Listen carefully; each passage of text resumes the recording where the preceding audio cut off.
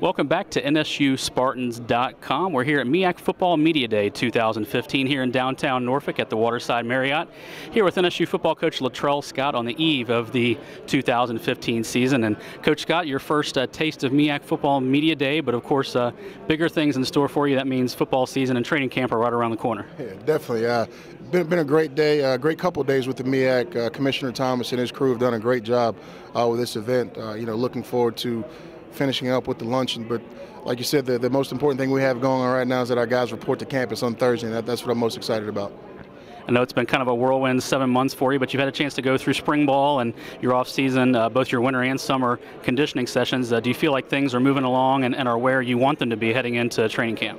well, they're never going to be where we want them to be, but uh, we're moving along at, at, at, a pace of improvement. And as long as we get better uh, in each phase of our program, uh, we've got a chance to be competitive a lot of things that the fans don't see. They can come out and watch spring practice and the spring game, but they don't see the guys out there in the summer working hard doing the, the seven on sevens. Kind of, they have to be self motivated to do a lot of that kind of thing. Uh, what have you seen from what they've done this summer, and, and what are some of the things they the players have been doing to get ready for the season? Well, you know, I get all, all of our reports from Chris Neff, our head strength conditioning coach, and uh, we've had over 50 to 60 guys there all summer, which is uh, really good for our level.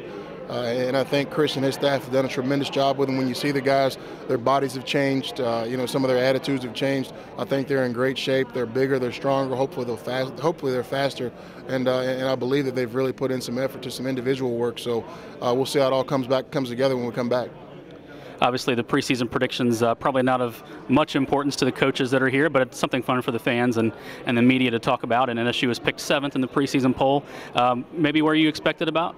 I, think that's where we should be. I, I, don't know that we deserve any more uh, than, than, where we're ranked. You know, I thought we might might even be a little bit lower. Um, we, we have a lot to prove, uh, you know, to, to ourselves. You know, in order for us to be competitive, we've got to come together as a team and do the things that we need to do. And if we can take care of ourselves more than anything else, that'll give us a chance to be competitive in this league. And you mentioned the players report on Thursday. First practice is on Friday, August the 7th. Uh, what are some things that you want to see from your team right off the bat when they jump into training camp? Uh, we just want to see uh, improvement from the spring. You know, we want to see how much we're able to retain because this will actually be our second installation with them. Uh, you know, the, the, exact installation that we use for the spring with a few tweaks, we're going to use it for the summer, so we should be familiar with it, and uh, we should be able to improve from a learning standpoint to where it's not all foreign to them.